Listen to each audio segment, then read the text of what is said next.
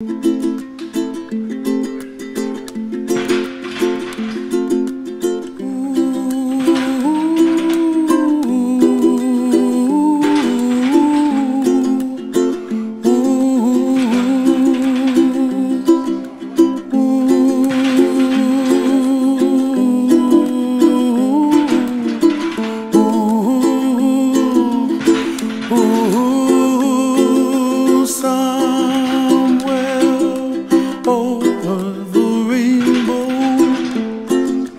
way up high.